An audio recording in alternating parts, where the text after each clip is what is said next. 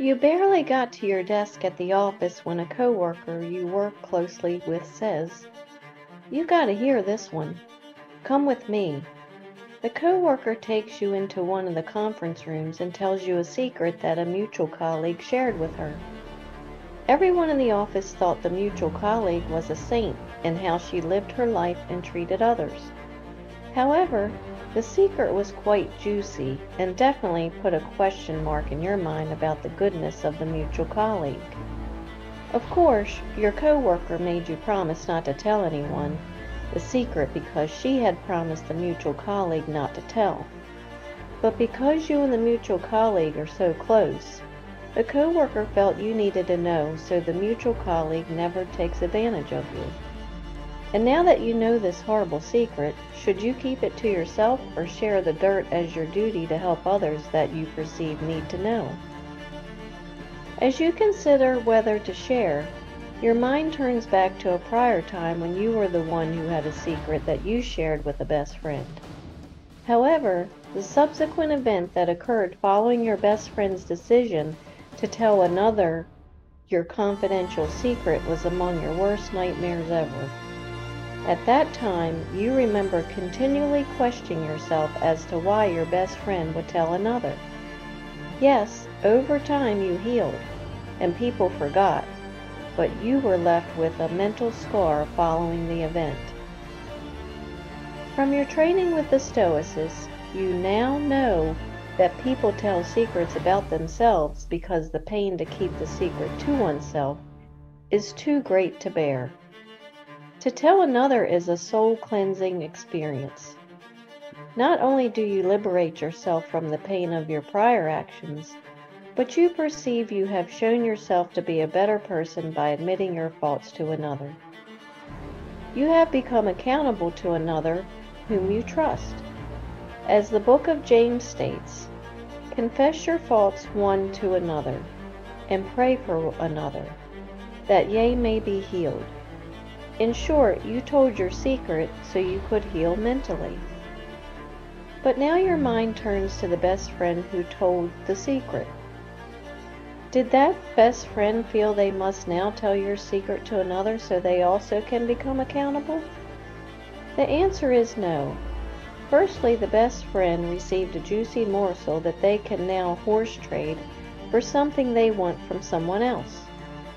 In short, it's a bargaining chip for them. And you remember your best friend telling you that they had to tell your secret to X because X made them do so. However, months following, you learn that your best friend initially dangled your secret in front of X so that an exchange could occur. Second, you have the best friend acting as the executioner for your sin, your secret. Why? In your best friend's mind, they have judged you as guilty and you must be punished. If your best friend thinks you have been punished enough already, then your secret is safe. But rarely does this occur. Your best friend will most likely view your secret as being an awful thing that you did and you need immense pain. So, what better way than to share your secret with others? Hey, it's also in the best interest of society to do because they are protecting others from you, right? At this point, your stomach turns sour, and you wonder how anyone could ever be considered your trusted friend.